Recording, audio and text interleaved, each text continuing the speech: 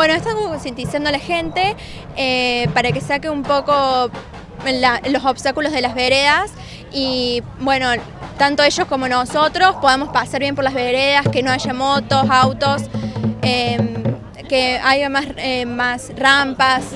Esto me contabas que no lo notan quizás tanto en el centro, pero sí en los barrios. Sí, en los barrios se nota muchísimo, eh, hay muchos obstáculos que a ellos les dificulta pasar. ¿Cómo lo han ido trabajando? Puntualmente hoy, ¿qué están haciendo? Eh, hoy estamos protestando con una murga eh, bueno, participamos nosotros y ellos también participan. Y bueno, trabajamos durante todo el año, preparamos todo esto para... hicieron charlas, Sí, hicimos muchas charlas y muchos encuentros, estuvimos. ¿Y la queja es generalizada? Sí, la queja siempre es de todos los vecinos.